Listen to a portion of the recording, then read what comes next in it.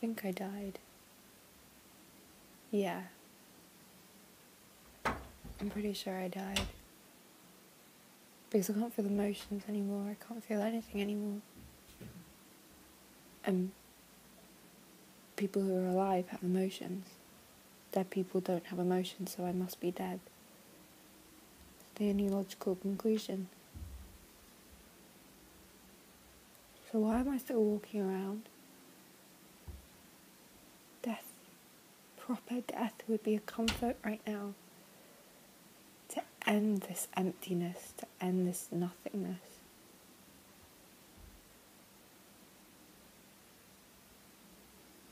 Why am I still here?